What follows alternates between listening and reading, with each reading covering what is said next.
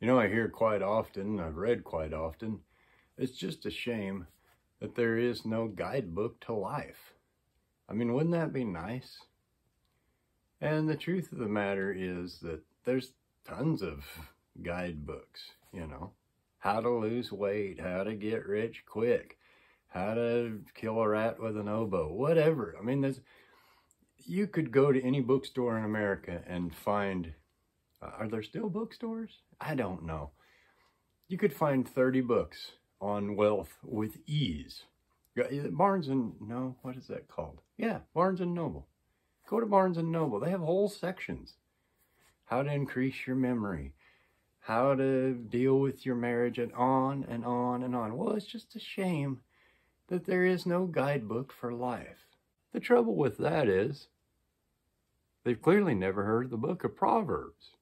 I was sitting in the front yard doing my earthing. I'm taking that serious, man, because I'm seeing positive, positive benefits. Can't stress that to you enough. You do what you want to do. I'm just saying. I'm not going to lie about it. There's, there's times, sometimes I'll sit out there and read. Uh, sometimes I just, you know, if there's a good wind, I kind of tend to look at the, at the trees and whatnot.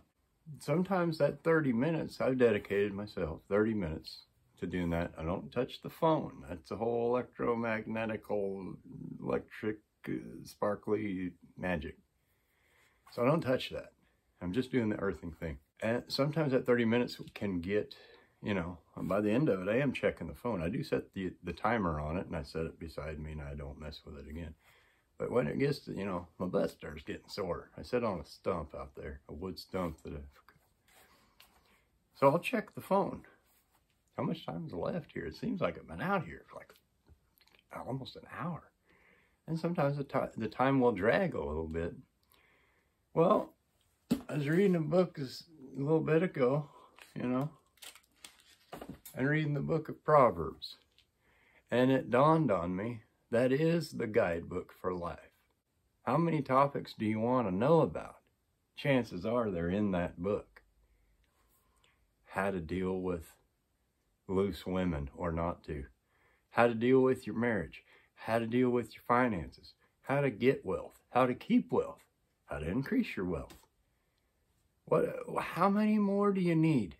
How to deal in business, how to not deal in business, how to not deal with evil and corrupt individuals, how to not deal with liars, why you shouldn't.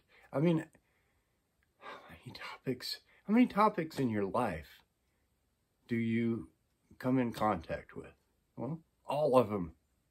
Well, it turns out that it's all in there, man. How to be humble, why you shouldn't be boastful, how to deal with pride and arrogance and what's wrong with those things, how to deal with your neighbors, how to deal with an angry man. How long do I have to go on? If you need a guidebook for life, I'm, I'm not really one to push my personal beliefs, I hate the word religion, spiritually, whatever word you want to use. I'm not really one to, to push my own things on someone else. But I'm telling you, if you're looking for a way, maybe you didn't have a dad in your life or some kind of mentor figure that could step in and fill that role for you. Maybe you just lost. Just, you know, I don't know how to deal with this stuff. I've never entered into business before. I've never met this guy. Talks a good game, but I'm I, I got this hunch that something isn't right, and I don't know what to do, and I don't have anybody to ask. There is a fair to middling or better chance that the answer is in the book of Proverbs. I'm just trying to help, man. It's right after the book of Psalms and right before the book of Ecclesiastes. Both well worth reading I'm just saying more to the point.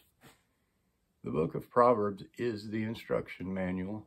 If ever you needed one, if ever you are looking for one, or maybe just one topic out of the thousands and thousands that a man or woman comes across just living life. It got written out. Really smart guy did it. I mean,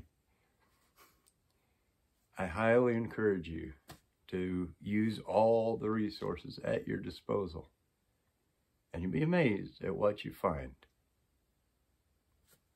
Just trying to help. I thank you for watching. I do appreciate your time, and I'll see you next time.